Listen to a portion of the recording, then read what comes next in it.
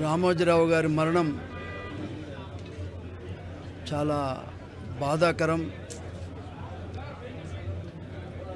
దురదృష్టకరమని కూడా ఈ సందర్భంగా తెలియజేస్తా ఉన్నా. ఎవరైనా పుట్టిన ప్రతివారు చావక తప్పదు కానీ ఒక చరిత్రాత్మకమైనటువంటి వ్యక్తి రామోజీరావు గారు. ఒక చరిత్రాత్మకమైనటువంటి మహానుభావుడు రామోజీరావు గారు. ఎంతోమంది రాజకీయ నాయకులకు రాజకీయ భిక్ష పెట్టినటువంటి వ్యక్తి రామోజీరావు గారు అని సందర్భంగా నేను తెలియజేస్తా ఉన్నా. వ్యక్తిగతంగా నాకైతే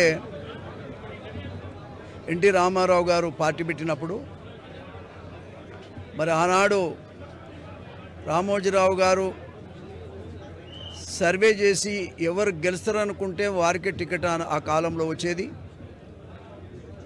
మరి మొదట మరి రామోజీరావు గారి సర్వే వారిచ్చినటువంటి రిపోర్టు ప్రకారంగానే ఆనాడు నాకు టికెట్ వచ్చిందని కూడా ఈ సందర్భంగా తెలియజేస్తా ఉన్నాను ఒక మాటలో చెప్పాలంటే రామోజీరావు గారు లేకుండా తెలుగుదేశం పార్టీ లేదు.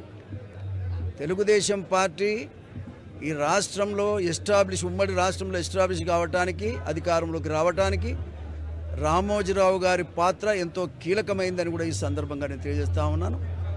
ఇవాళ ఏది ఏమైనా మాలాంటి వాళ్ళకి రాజకీయ భిక్ష పెట్టినటువంటి మహనీయుడు ఒక చరిత్రాత్మకమైనటువంటి నాయకుడని కూడా ఈ సందర్భంగా నేను తెలియజేస్తూ వారి ఆత్మకు శాంతి కలగాలని ఈ సందర్భంగా భగవంతుని ప్రార్థిస్తూనే సెలవు తీసుకుంటున్నాను. నమస్కారం.